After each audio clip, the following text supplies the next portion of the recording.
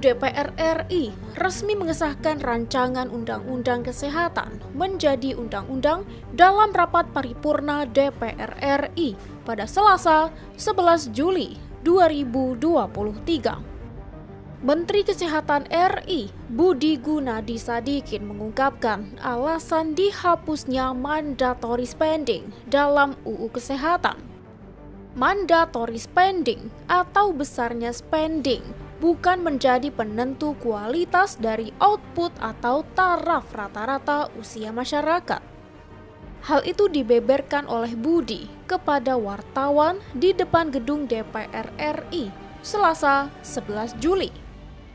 Menurutnya, besarnya spending tidak menentukan kualitas dari outputnya. Tidak ada data yang membuktikan bahwa semakin besar spending, maka semakin besar juga derajat kesehatannya. Lanjut Budi, Undang-Undang Kesehatan baru ini diharapkan mampu memudahkan masyarakat dalam mendapat akses layanan kesehatan. Sebelumnya, berbagai organisasi tenaga kesehatan sempat menggelar demonstrasi menolak pengesahan RUU Kesehatan di depan gedung DPR RI Selasa 11 Juli.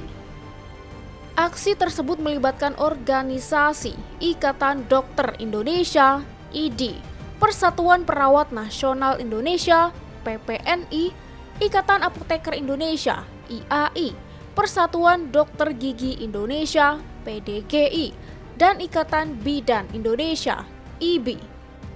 Terdapat tiga poin yang disuarakan terkait pengesahan RUU Kesehatan yang dipandang menyengsarakan tenaga kesehatan dan rakyat Indonesia. Pertama, tidak ada mandatory spending, yaitu tidak adanya alokasi anggaran oleh negara kepada bidang kesehatan. Kedua, yakni khusus perawat, pelayanan khusus perawat, praktik perawat, kewenangan perawat, pendidikan berkelanjutan khusus perawat akan hilang dengan disahkannya RUU Kesehatan. Ketiga, dicabutnya beberapa undang-undang kedokteran, khususnya perawat yang membuat landasan profesi menjadi tidak kuat. Ketua PPNI Harif Fadilah menganggap RUU Kesehatan ini justru hadir menyengsarakan tenaga kesehatan di Indonesia.